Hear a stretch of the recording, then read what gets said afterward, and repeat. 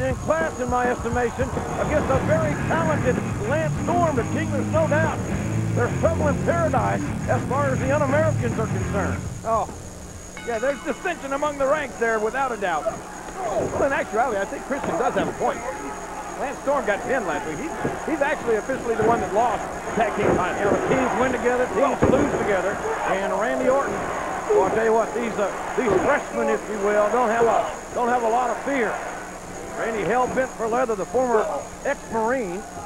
Yeah, you know, I, I mentioned that Saddam Hussein well, he might like the un-Americans, but hey, look at look at Christian checking out. What's he smiling about? Like Christian likes uh, the uh, fact that his, his comrade, Lance Storm, is not faring very well in that particular exchange. In any event, Storm very, very popular in, uh, in his in Calgary and, and north of the border, but not here in Texas. It seems. The cover, hook to the leg.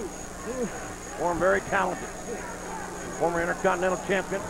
These men lost their tag team titles last week as they were bemoaning the Kane and Hurricane Helms, not to be confused with, of course, Gregory Helms, eighth reporter. what are you implying? What are you trying to say there now? Spoiled somebody's secret identity or something? Three championship matches tonight, ladies and gentlemen. You're going to see them all live here.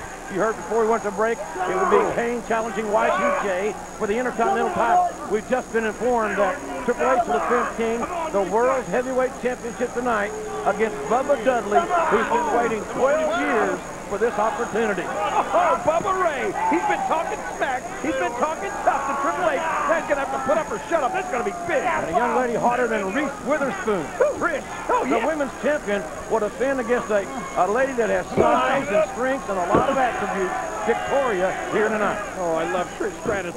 She's going to be great. You love attributes. That's two nice Oh, nice reverse elbow by Randy Orton catching Lance Storm walking in. And Randy, whoa, man, what a high, what a high cross body off the top. Could be all, but it's not. Nice tattoos there on Randy Orton, wouldn't you think?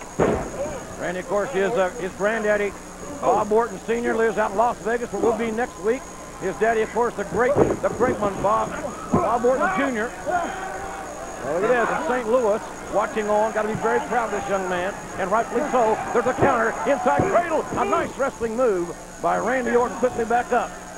Randy 6'5", about 240 pounds. Started wrestling in the AAUs at the age of nine. And look, look at this. Hey, and Randy Orton got the tight. Did he get the three? Yeah, they both had tight. Here is your winner, Randy Orton. Well, Randy Orton Lance Storm had beat in his own game there. Gotta fight a little fire with fire sometimes, and that's what it takes. That's what you do. Hey, wait a minute. What? Down here. Just took my hand.